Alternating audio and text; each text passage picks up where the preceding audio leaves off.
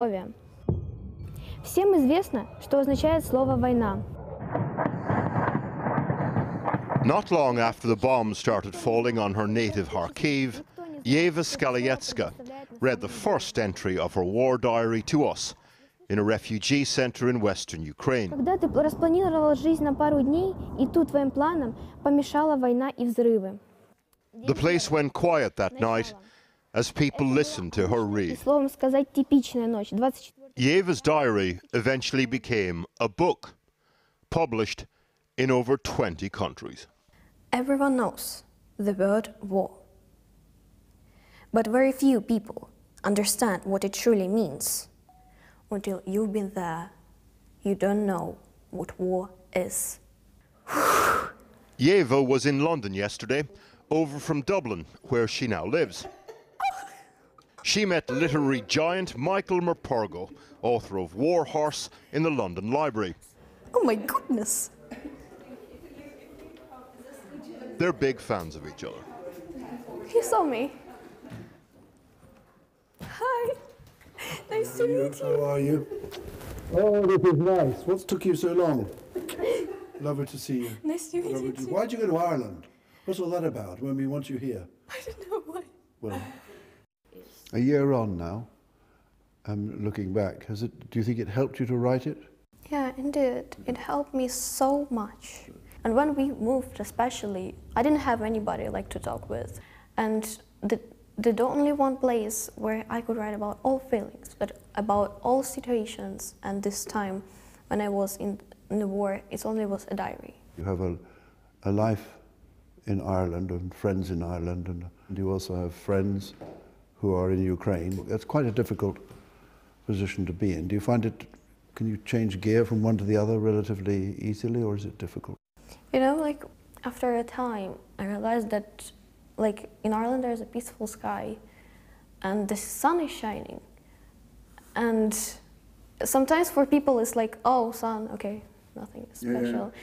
But for me, it was it was just like wonderful that I could walk and don't go to the shelter, and I will able just to walk freely, to go wherever I want to. It is interesting because I've been writing a lot uh, about war because I grew up just post-war. Uh, we lived in London. We played in bomb sites, for goodness sakes. Do you know what we played in bomb sites? Should I tell you? No, you didn't. War games. Isn't that bizarre? Little boys are playing war games in the bomb sites, and we picked sides. Who would be Germans? Who would be us? And we none of us wanted to be Germans. Do you know why? Because the Germans had to die. And this was in your head. Six, seven, eight, uh, playing in bomb sites. And of course, these were houses in which people had actually died. You know, same as in Ukraine, they died there in large numbers. And you just, you lose very quickly because the houses are built up. Peace came, traffic moved through the streets, there were more jobs.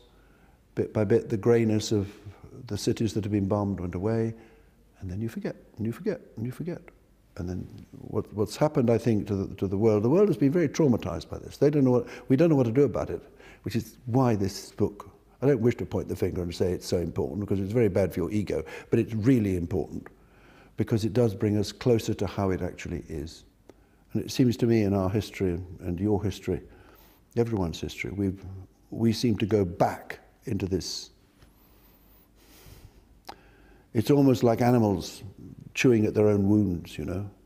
And the, the really awful thing is that they do end, these wars. And each time we all think, well, we're not going to do that again, you know. We will never do that again. And time after time, someone comes along, like Putin, doesn't, you know, he's just the last in a long line of these people who whip up fervour.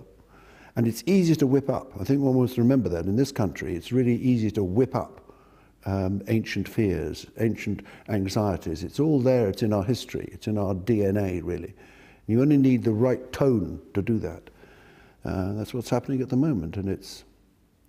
I don't think we ever thought this was going to happen, or that you had to be someone who's lived through this and, and had to tell tell the world how it is. But it's so important that you did.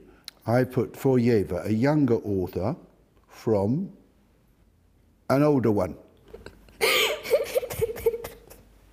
for Michael Morpurgo.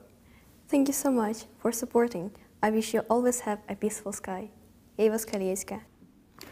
That will do, my love. Thank you very much indeed. Sweet of you.